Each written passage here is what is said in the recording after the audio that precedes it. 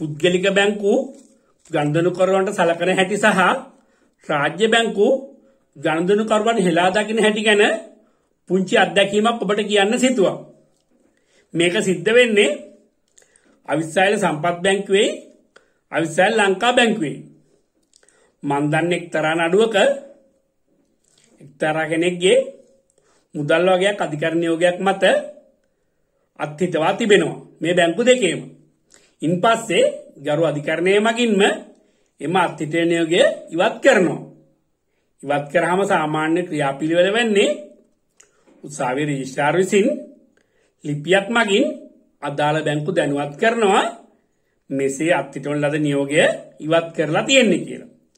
දැන් එහෙම වෙලා අර සල්ලි ගන්න ඕන කාන්තාව උසාවියෙන් හරියටම දැනගන්නවා අහලා බැංකුවට ලියුම යවුවද කියලා. එහෙම දැනගෙන ඊට පහුවදා අවිස්සල් සම්පත් බැංකුවට යනවා.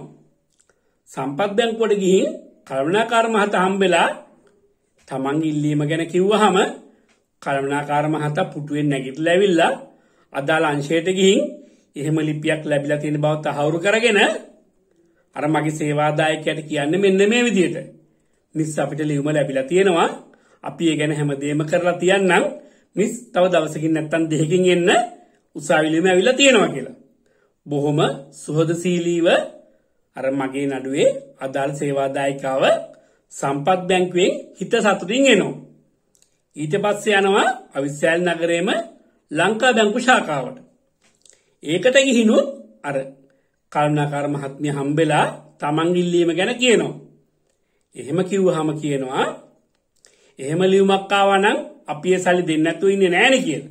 එහෙම කියනකොට මන් දීපු වැඩිදිරි උපදෙස් එක්ක අර මගේ සේවාදායිකාව කියනවා මිස් එහෙමනම් උසාවියෙන් අහලා බලන්න ටෙලිෆෝන් නම්බරෙත් මට ලියලා දුන්නා කියලා.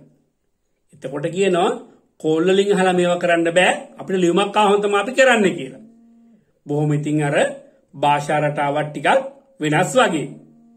දැන් වෙනස තියෙන්නේ අවිස්සාල සම්පත් බැංකු ශාඛාවේ මං කියන කෙනාගේ ගිණුමේ තියෙන රුපියල් 46000ක් විතරයි.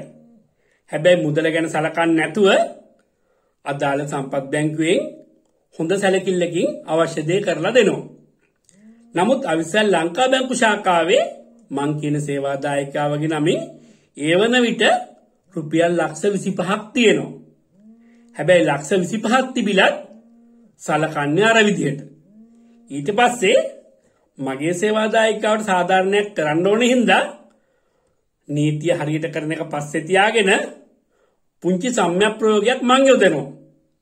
මම කියනවා මගේ සේවාදායකවට ඔයා ඊට පහුවදා හරි තව දවසකින් ගිහින් අහන්න මැනේජර් හම්බ වෙලා මිස් මට සල්ලි වගේක් මේ බැංකුවේ දාන්න ඕන ටිකක් ලොකු FD එකක් ඒ හින්දා මම මේක දැනගන්න ආවේ කියලා. අන්න එහෙම අහනකොට අර කලින් දවසේ කරදරයක් වගේ දැකපු අර කළමනාකාරවරිය ටිකක් වෙනදට වඩා භාෂාව වෙනස් වෙලා ඔන්න හොයලා බලනවා.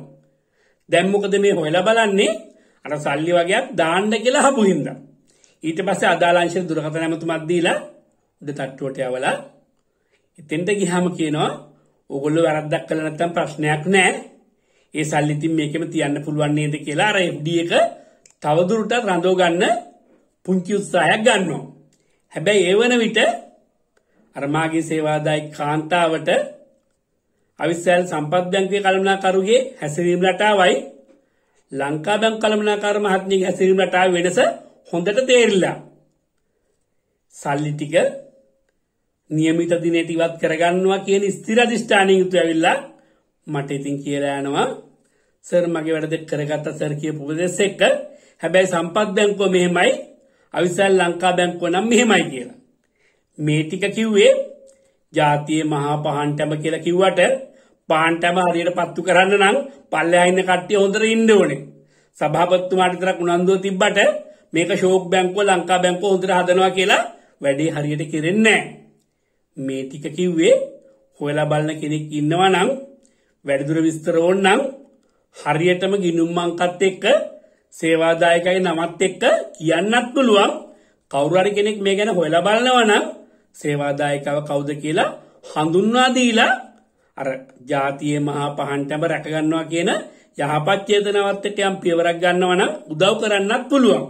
ඔබටත් සමහරට මේ වගේ අත්දැකීම් ඇති තියෙනවා නම් අපි කාගෙත් හොඳට රාජ්‍ය බැංකුව රැකගැනීම කියන යහපත් චේතනා පෙරදරි කරගෙන ඔබේ අදහසත් ලියන්න අපි නම් හිතන්නේ පාරිභෝගික ඔබ අපට රජෙක් කියලා. නමුත් ඉතින් සමහරක් බැංකු හිතන්නේ අපි දැන් ඔය කියපු ලංකා බැංකුව වගේ හිතලා තිබුණේ පාරිභෝගිකයා කියන එකක් කරදරකාරයෙක් කියලා තමයි. මේ වෙනස කිව්වේ බලන්න සම්පත් බැංකුව පුද්ගලිකංශ බැංකුවක් වෙලා අඩු මුදලක් ගන්න තිබිද්දිත් සලකන සැලකිල්ලයි ලංකා බැංකුවේ ඒ වන විට ලක්ෂ 25ක් තියාගෙනත් සලකන සැලකිල්ලයි. මේ ටිකත් එක්ක මේ බැංකු බංකොලොත් එයි හරි මේ බැංකු වලින් ගනුදෙනු කර ඉවත් වෙයි කියන එක හරි පුදුම වෙන්න ඕනේ නැහැ. ඔබේ අත්දැකීමත් ලිව්වොත් කාට හරි යහපතක් වෙයි.